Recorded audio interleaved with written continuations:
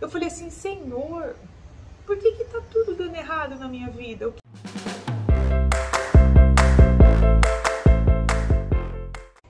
Oi, pessoal, tudo bem com vocês? Eu espero que sim. Bom dia, boa tarde, boa noite. A paz e Deus a todos.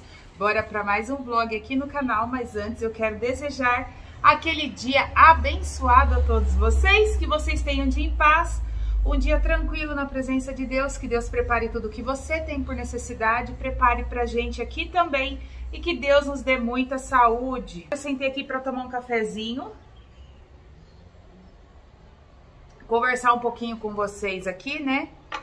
É, a respeito de uma vitória que Deus me deu aí, gente, que vocês fizeram parte disso.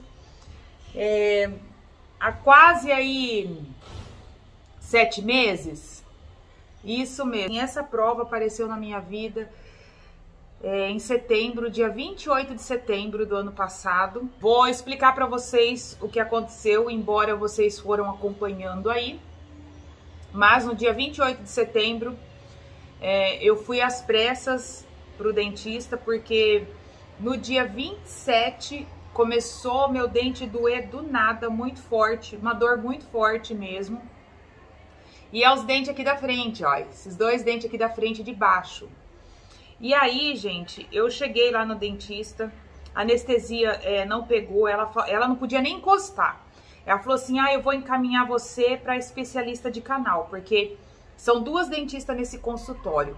Essas dentistas, gente, elas tratam da gente desde, olha, de quando a Amanda tinha 11 anos. Porque a Amanda fez é, 21 agora, né? A Amanda colocou aparelho com eles, o Kaique também, enfim, né?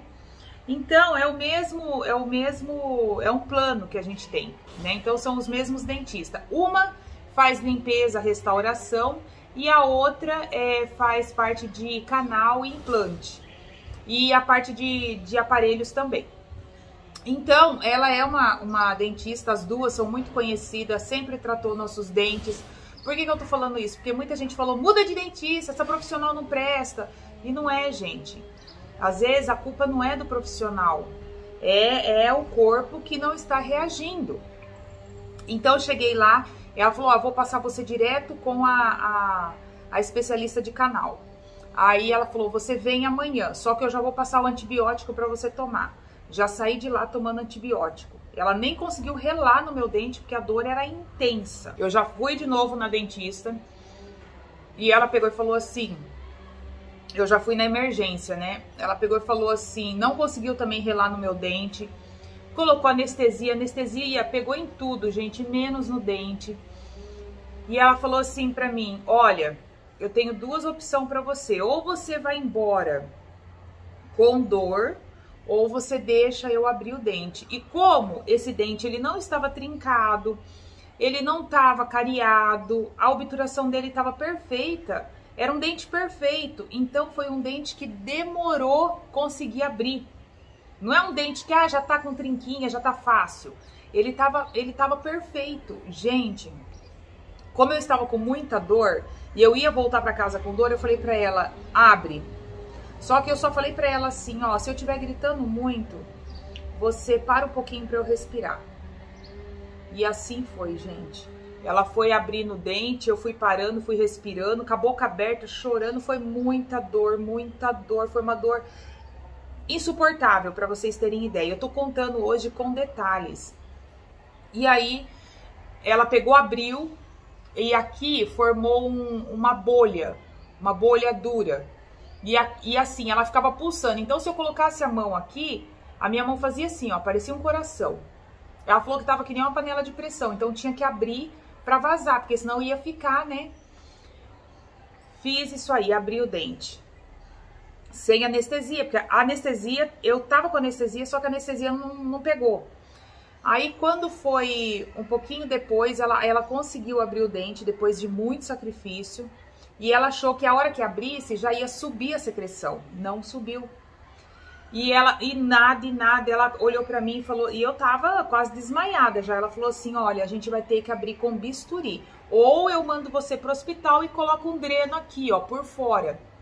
Ia fazer um furo aqui e colocar o dreno por aqui. Eu peguei e falei para ela assim: "Não, então vamos". Gente, ela pegou o bisturi e abriu a minha gengiva.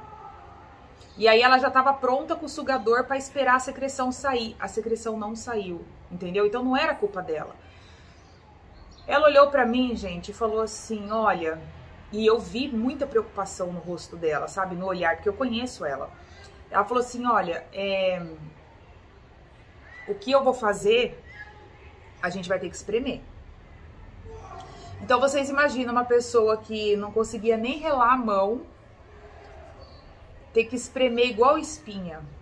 E ela começou, ela pegou, ela apoiou o dedo aqui nesse osso e foi espremendo, e aí a ajudante foi colocou o sugador, já foi sugando, fui sugando. Aí ela espremeu tudo, colocou o curativo. Antes de você chegar em casa, você já toma os medicamentos. Antibiótico caríssimo. Não achava em lugar nenhum. Consegui tomar o remédio. Eu cheguei aqui em casa gritando de dor. Eu vim dentro do carro bater na cabeça, gritando de dor, muita dor mesmo. Cheguei aqui em casa, a Amanda falou: "Mãe, eu vou eu vou buscar o, o resto dos remédios, que ela não achou tudo numa farmácia só. Eu cheguei aqui, gente, quase fazendo xixi na calça de tanta dor. Para vocês terem noção, eu nunca tinha sentido uma dor daquele tamanho. Fui direto pro meu quarto gritando e lá eu fiquei gritando, gritando, gritando até que o remédio fez efeito e aí tudo bem. Começou a fazer efeito, eu comecei a tomar antibiótico, passou, passou sete dias dos antibióticos, né? Aí Tava tudo, tudo perfeito, tudo normal. Daqui a pouco, de novo, o dente começou a doer.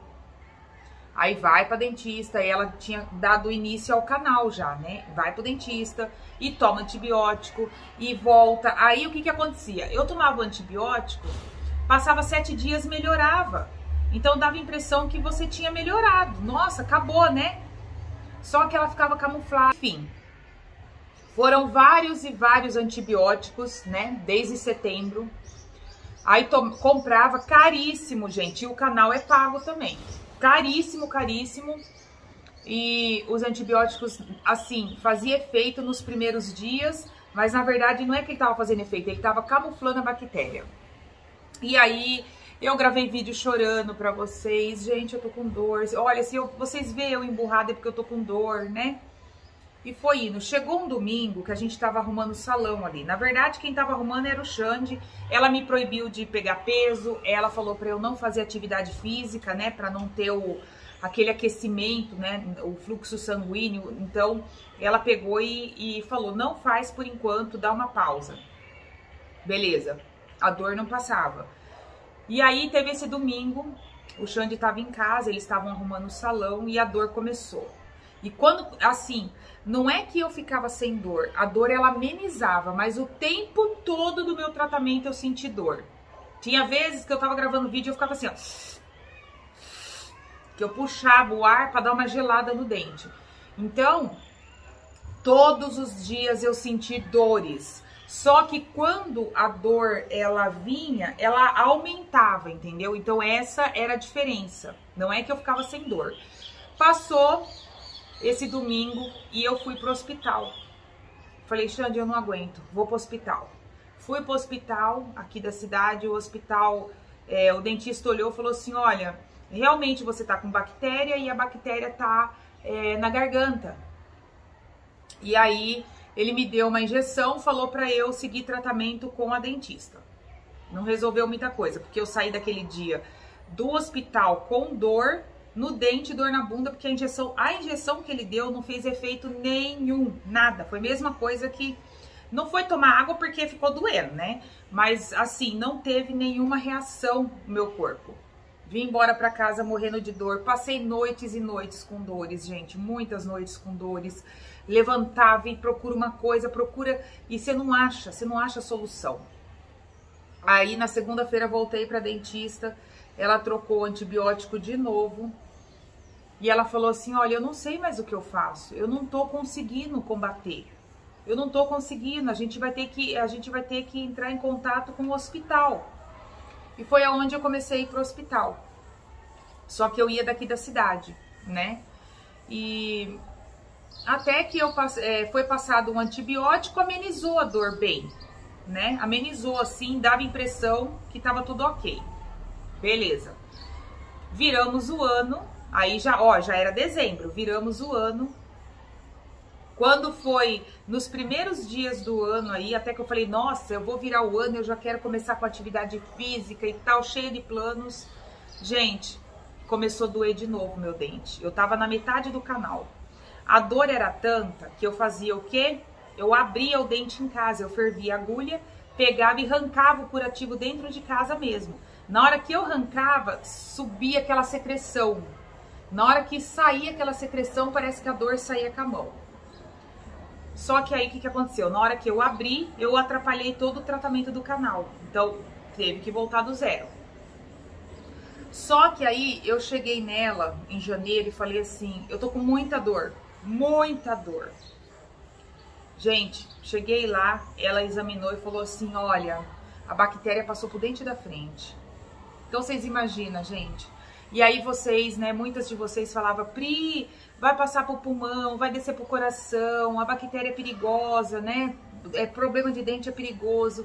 Aí eu fui ficando, eu sei que vocês estavam preocupados, mas quando a gente tá passando, né, a gente começa a ficar preocupada, e preocupação aqui, preocupação ali. Eu falei, meu Deus, eu comecei a ficar desanimada, os antibióticos fortes, começou a me dar moleza, eu não queria fazer nada, e foi indo, foi indo, foi indo. Olha lá, ó. Você acha que ela não ia causar?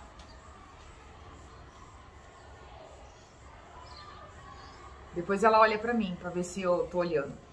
Aí eu sei que uma irmã viu o vídeo, me ligou e falou: Pri, Olha só, gente, você não quer que eu vou com você no hospital? Eu vou com você em outro hospital de outra cidade que ele é especialista, faz até cirurgia de maxilar e tal.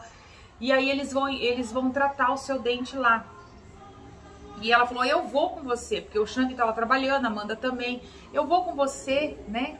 É, vamos lá, eu vou com você, eu vou com você à tarde, eu tô livre". Aí eu não quis dar trabalho para ela, que é a Viviane, né? Eu não esqueço desse dia eu falei assim, eu vou ver certinho, eu nem sei se eles vão me atender lá, né? Porque normalmente quando é de outra cidade, o hospital não atende, a não ser que for um acidente, uma emergência, né, e tal.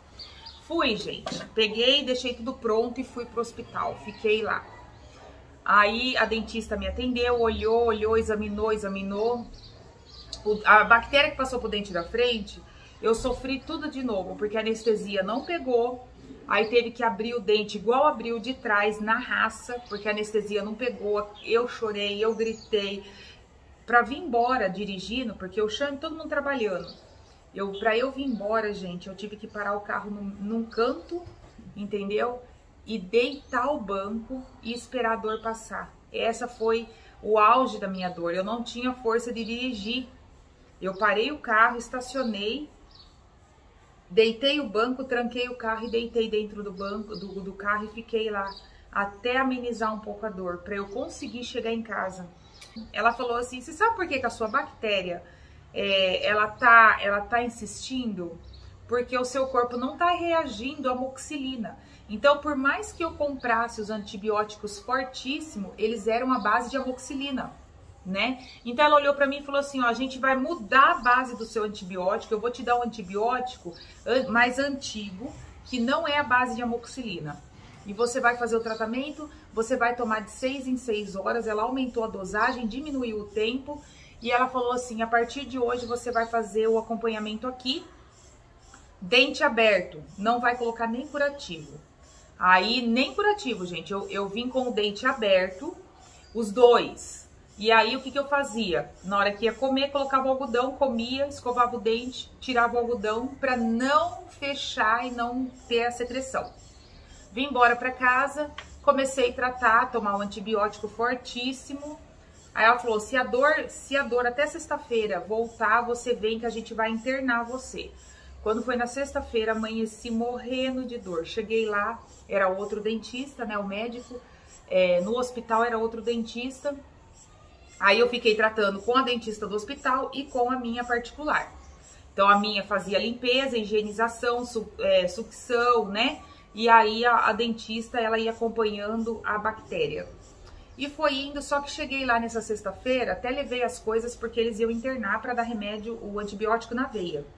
Aí o dentista que estava lá, ele falou assim: "Não, a gente não vai internar. a não ser que o, tiver tão inchado a ponto do seu pescoço encostar nessa parte aqui. Aí a gente interna. Falei, meu Deus, né? Mas tudo bem.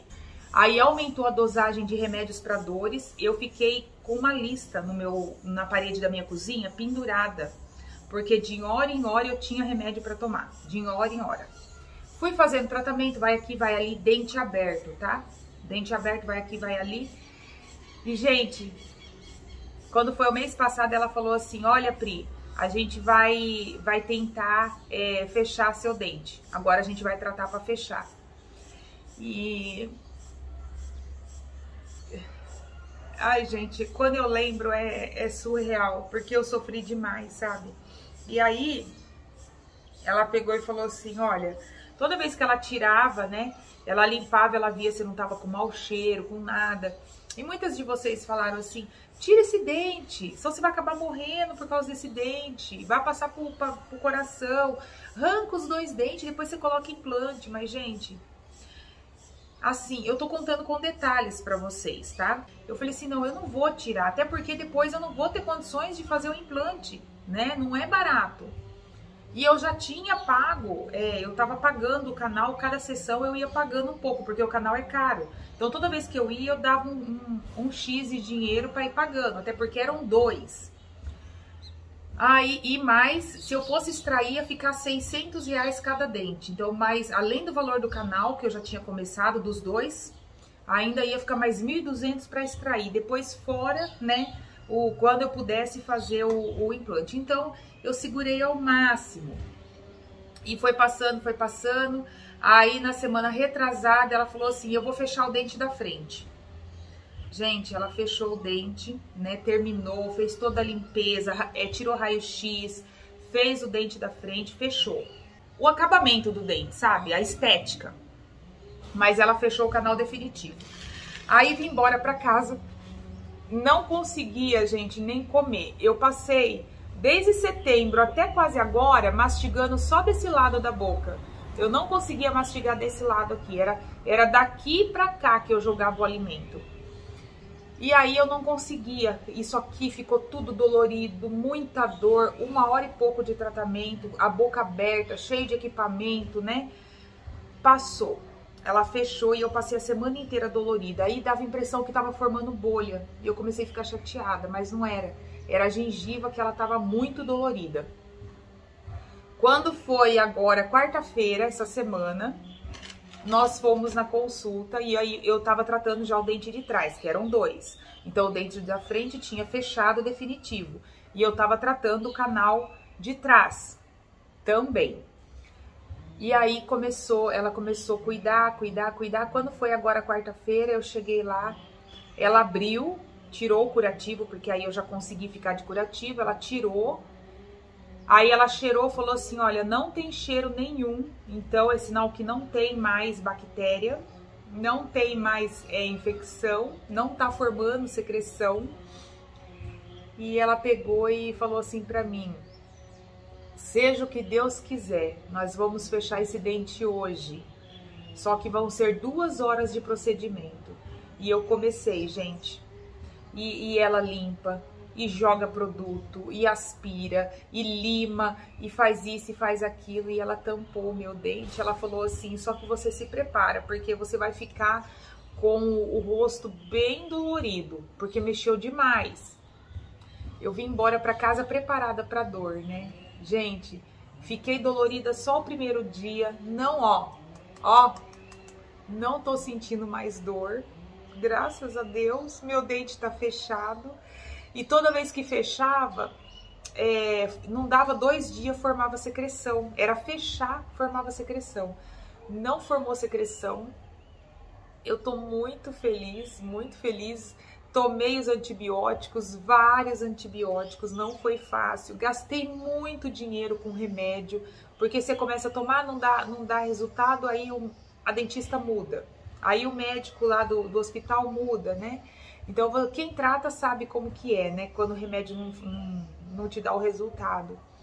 E eu tô aqui hoje, especialmente nesse vídeo, para agradecer vocês que oraram, que apresentaram essa parte nas mãos de Deus, porque Gente, eu, eu sofri, viu? Eu sofri, foi que eu sei que tem muitas dores piores, né? Mas eu, eu nunca tinha sentido uma dor tão forte dor a ponto de você querer bater a cabeça, entendeu? Porque isso aqui pegou tudo. Aí chega, a dor chegava no ouvido, voltava, pegava essa parte de baixo para dormir, era tenso, não conseguia descansar, levantava a noite toda porque começava a doer, joga água gelada, joga não sei o que e faz não sei o que porque você quer resolver, mas você não consegue resolver. Mas mesmo assim você tenta. Você sabe que você não vai conseguir, mas você tá lá tentando muita oração e graças a Deus, Deus deu essa vitória. Agradeço vocês pelas orações, né? E o que, que eu quero falar, gente?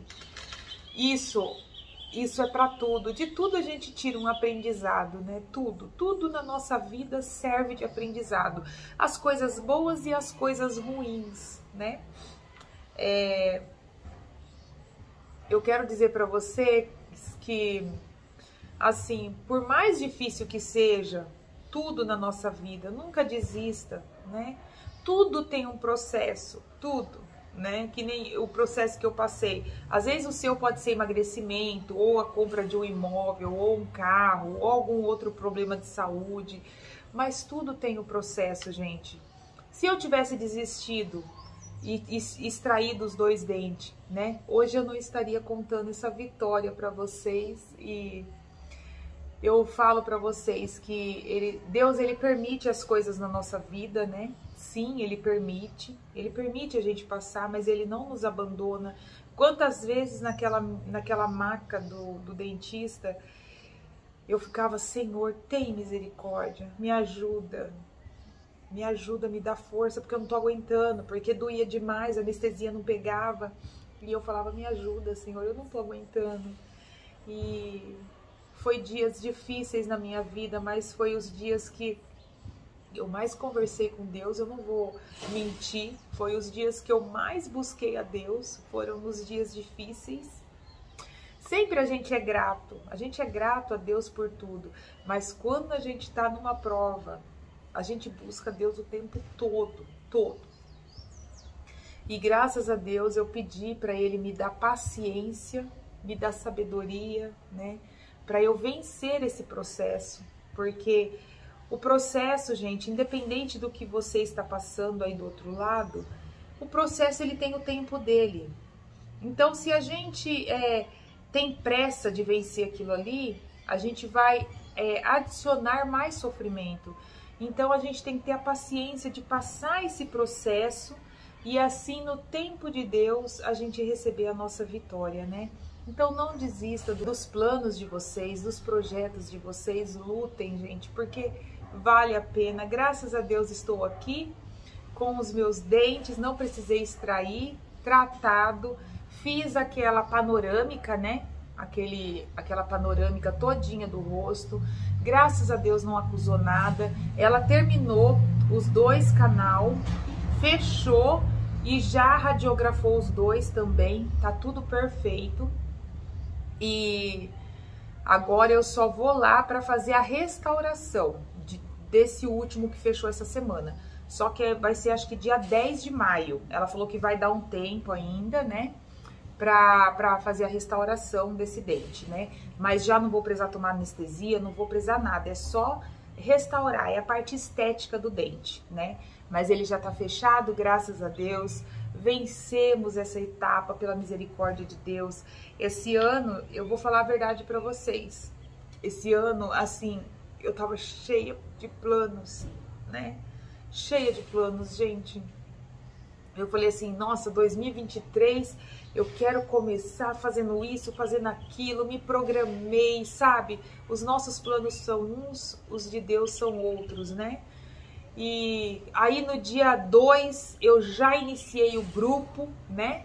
E já fui começar atividade física e fazendo atividade. Fui no dia 3, cedinho, fui fazer atividade física 5 horas da manhã. Aí no dia 3, ao longo do dia, Deus recolheu o meu sogro. Aquele sofrimento todo já baqueou a gente, né? Aquela tristeza no comecinho do ano, aquela tristeza ainda estamos, né? Sentimos muito a perda dele, né?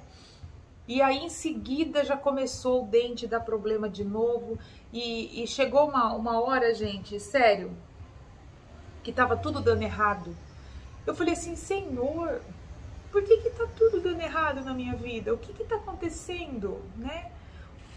Eu fiz algo que te desagradou e eu comecei a me analisar, entendeu? Porque é, uma pessoa tinha visto a casa e ela falou assim: não, a gente vai ficar com a casa, eu preciso mudar dia 17 de janeiro. A gente vai ficar com a casa e então pode fazer a reforma aí que a gente vai ficar e tal. E eu tava sem dinheiro.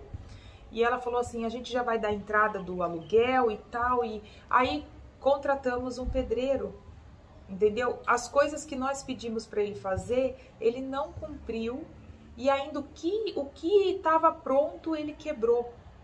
Né? Deu vários problemas no encanamento, ele encheu essa laje da casa de água, a lavanderia, né? que, que era para ele fazer, ele acabou dando muita dor de cabeça. O muro tava junto, o reboque, ele não rebocou, tá lá sem reboque, né? E paguei por isso, levei prejuízo. E eu fiquei, Senhor, aí nessa mesma época foi a época que Deus recolheu meu sogro, o meu dente dando trabalho, o pedreiro aqui toda hora precisa de cano, precisa de cola, precisa de sei o quê, precisa de cimento, precisa de pedra, precisa de areia. E eu toda hora indo comprar as coisas, o Xang trabalhando direto e morrendo de dor no dente e deixava o material que ia para o hospital, voltava, ia para dentista e eu fiquei fazendo essa vida e eu não via, eu não via resultado. Entendeu? Eu não sei se vocês já passaram por, por isso, mas eu não via resultado. Eu não estava vendo resultado nos meus dentes, no meu tratamento. O resultado da casinha também eu não estava vendo. O resultado da lavanderia também não estava vendo. E era só dinheiro que ia embora. Era dinheiro de material, era material para isso, para aquilo, para aquilo e coisas que já estavam prontas, que ele foi quebrando e eu fui tendo que comprar material para ele arrumar o que já estava pronto, né?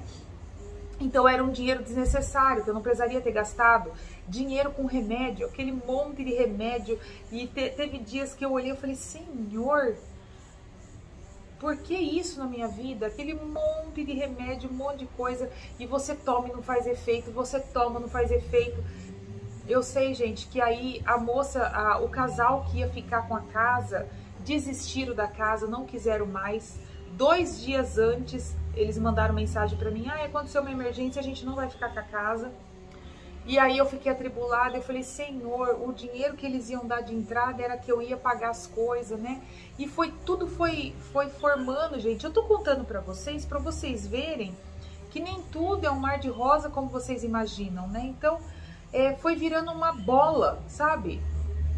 E eu falei, Senhor, o, só tá saindo dinheiro, só tá saindo, saindo, saindo e não tá entrando e, e, além de sair você não vê o resultado. É diferente quando você vai lá e fala assim, ó, eu comprei essa cadeira, você traz essa cadeira, mas você tem a cadeira, né? O meu não, o meu, o meu, o pouco que a gente tinha tava indo e eu não tava vendo o resultado. Eu não tava vendo. Dentro desse mês de janeiro, janeiro e começo de fevereiro, gente, meu liquidificador quebrou, meu multiprocessador quebrou, queimou, tá? É, a calha da casa que eu tinha pago para arrumar voltou a entrar água tudo de novo. Eu sei que as, as coisas foram quebrando do nada. E eu, e eu fui ficando assim, sabe? Eu não, tem alguma coisa errada. Alguma coisa tá errada, né? Mas enfim, Deus deu paciência, deu sabedoria, né? E a gente venceu essa época, porque justamente a época que eu estava sofrendo com o dente foi a época que tudo aconteceu. Agora, graças a Deus, a gente está colocando as coisas em ordem, né? Estamos nos organizando de novo e eu vim aqui contar um pouco desse testemunho, dessa obra que Deus fez na minha vida. Eu não desisti e Deus tem entrado com a paciência, com a sabedoria para eu viver o momento que Ele tinha traçado na minha vida, né? Porque se eu chegasse lá, então eu vou extrair os dois dentes eu ia pular o processo que Deus determinou que eu passasse. Então, é, graças a Deus, vencemos aí. Agora em maio eu vou fazer só a restauração, mas ela já falou que não não precisa tomar anestesia, nada, vai ser só a estética do, do dente. Ela falou assim: você vai voltar, você vai ficar dolorida, você vai ter que tomar remédio para dor. Não precisei tomar remédio nenhum para dor, voltei, fiquei dolorida no dia e já passou, não tô sentindo mais dor, glória a Deus. Já voltei a fazer minhas atividades físicas e graças a Deus aí está tudo se restaurando na nossa vida, né? Então eu quero agradecer a todos de coração por toda a preocupação que vocês tiveram, pelas mensagens, né? Pela ajuda que vocês me deram. É, pelas mensagens de incentivo, né? Até os alertas, Pri, toma cuidado, pode descer pro coração, pode descer pro pulmão. Eu agradeço a todos, porque assim, quando a gente tá passando o processo e começa a ler essas coisas, dá a impressão que a gente vai ficando pior. Só que isso também serviu de alerta para mim, né? Porque eu nunca tinha passado por isso. Então, meus dentes já deu canal, já tratei canal com ela, mas nunca nesse nível. Ficava dolorido, eu ia lá, ela abria, ah, é canal. E começava a fazer o canal, nem antibiótico eu não tomava. Então, é, foi, foi inédito isso na minha vida, né? Graças a Deus, graças a orações de cada um de vocês aí, né? Eu sei que teve irmãs que fizeram voto por mim, eu agradeço de coração por tudo, gente. Eu vim aqui contar um pouco do que nós passamos nesse início de ano. Não foi fácil, o processo foi difícil, foi tudo acontecendo ao mesmo tempo. Eu desanimada com, com o problema no meu dente, eu chegava aqui do, com muita dor, olhava o serviço do pedreiro tudo mal feito, eu ia, deitava, eu, às vezes eu chorava, gente, sério. Falei, Senhor, tem misericórdia, né? Mas graças a Deus vencemos, né? E estamos aqui para agradecer vocês pelas orações, que Deus abençoe a todos, contando um pouquinho do que eu passei, porque às vezes disso tudo que eu falei para vocês vai servir aí alguma coisa vai servir para você. Disso tudo, você absorva o que vai é, mudar a sua vida para o bem, né? Então, mesmo que você passe situações ruins, sempre tem aprendizado, tanto nas boas quanto nas ruins. E por incrível que pareça, a gente aprende mais com as situações ruins do que com as boas, tá? Então, um beijo a todos vocês, fiquem com Deus, que Deus abençoe todos vocês e se Deus quiser, até a próxima. Tchau, pessoal!